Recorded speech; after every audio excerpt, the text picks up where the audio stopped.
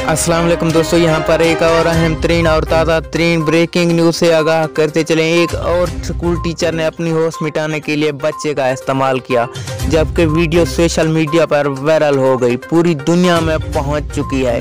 वज़ीर अजम इमरान खान ने बड़ा एक्शन ले लिया। हमारे स्कूल और कॉलेज महफूज नहीं। इमरान खान ने कहा, ऐसी चुड़ैल औरतों को जल्द से जल्द गिरफ़्तार किया जाए।